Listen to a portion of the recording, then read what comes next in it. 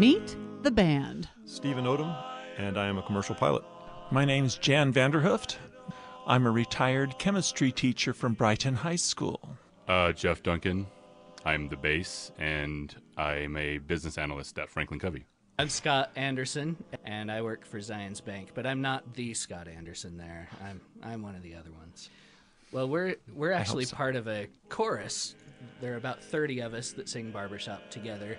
This configuration is not a regular quartet. We're we're we're just doing this for Valentine's Day. Oh. Doing what for Valentine's Day?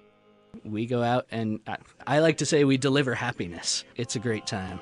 Everybody enjoys it. Some cry, some smile, some laugh, some turn red. But it's it's awesome. Do you go anywhere to their businesses or their homes or, or where do you go?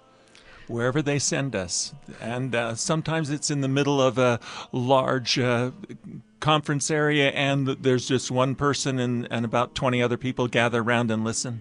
The more public, the better. it's more embarrassing.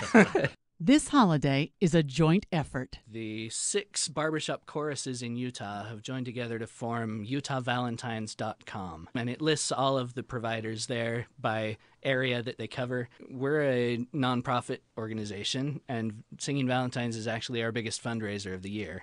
So maybe the sweet she needs this year is a sweet song. Amanda Dickson, KSL News Radio.